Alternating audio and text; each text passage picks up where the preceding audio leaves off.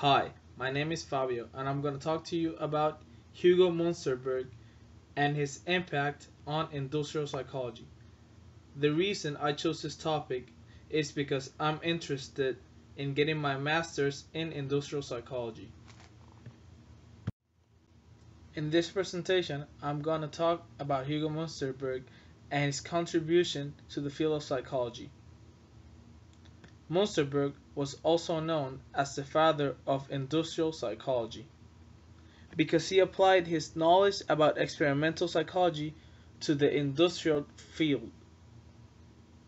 His primary emphasis was the benefits that could be achieved by applying ideas and methods of psychology to problems of business and industry. He was a brilliant man and learn from the best. Hugo Munsterberg was a Polish-German psychologist and physician born in 1863. Other than psychologist, he had many interests. The reason he got interested in psychology was because he got a lecture with William Wundt, who was also a psychology psychologist in the University of Leipzig, where he earned a PhD in physiological psychology. Later, Munsterberg also earned a medical doctorate from the University of Heidelberg in 1885. After his graduation, Hugo was recruited by the psychologist William James so he could work for him in Harvard University. Later, he became both the president of the American Psychological Association and the American Philosophical Association. He was hanging out with famous people and he was considered a celebrity. In 1910, he began to consider the possibility of creating a psychology that dealt with the industries. Conceived the industrial psychology as a new science that serves as an intermediary between laboratory psychology and the problems of economists. He believed that the psychological experiment had to be systematically put at the service of commerce and industry.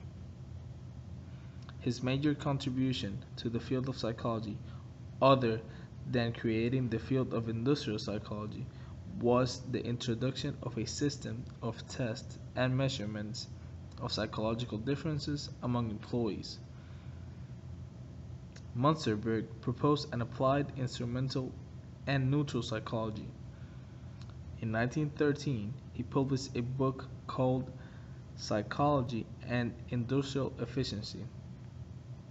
Efficiency, as defined here, involves the dual concepts of performance or productivity as a function of the contribution or effort.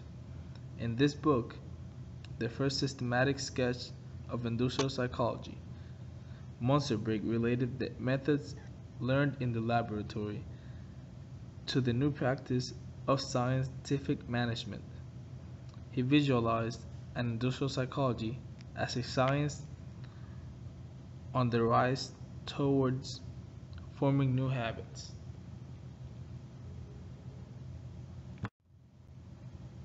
Munsterberg was one of the first scientists to suggest the value of experimental psychology in the industry field. According to Munsterberg, the techniques of experimental psychology could be used to replace the job dissatisfaction, mental depression, and misery with an adaptation of the work and of the psyche that causes an inner joy. As a result, psychological knowledge served to implement rationalization in the workplace. Industrial psychologists started to investigate the factory environment by setting particular tasks that corresponded to each workers of that mental type. The core functions of these scientists were the selection of habituation to work routines which were supposedly determined by civilization. They started from the premise that the use for psychological tests would help create techniques that would increase employee satisfaction and reduce fatigue. He concluded that accidents were mainly the result of workers who decreased their attention to the task as a result of distractions, monotony, or a particular mindset. His contribution to this field explains in a great way why occupational health has been mainly researched by industrial psychologists. To conclude my presentation, I'm gonna start with some points that I think were very important in the life of Hugo Munsterberg. First, he was considered the father of industrial psychology. He invented a new field which deals with the business and the industries, which is basically everybody. So in, he invented that. Other than industrial psychology, he had many other interests, including being a medical doctor. He also was interested in forensic psychology, social psychology, and he was also a film critic. After being famous and respected in the US, his reputation changed because he took a stance with the Germans in World War One. This collapsed all his popularity and all the respect the Americans had for him. However, you cannot say anything bad about him other than that in our eyes because he was the president of the American Psychological Association. He was the president of the American Philosophical Association.